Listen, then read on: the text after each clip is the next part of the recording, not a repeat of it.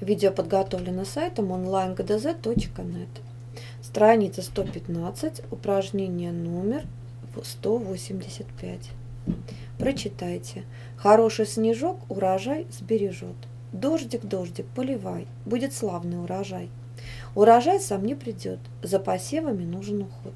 Как вы как вы можете объяснить выражение «славный урожай»? Славный урожай значит очень хороший. Новый урожай значит свежий урожай этого года. Низкий урожай значит плохой урожай. Спешите первое предложение. Хороший снежок урожай сбережет. Запишем его. Хороший снежок урожай сбережет.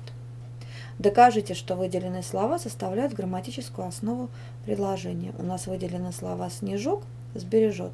В предложении говорится о чем? О снежке. Что говорится о снежке? То, что он сбережет.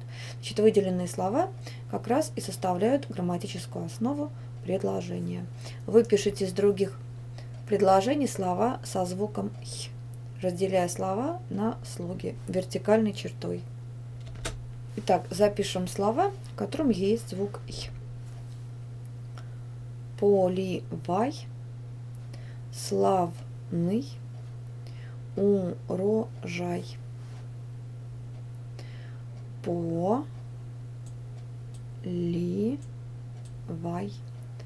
славный урожай. Если вам понравилось видео, смотрите остальные решения на нашем сайте. Если есть вопросы, предложения или пожелания, подписывайтесь на нашу группу в социальных сетях.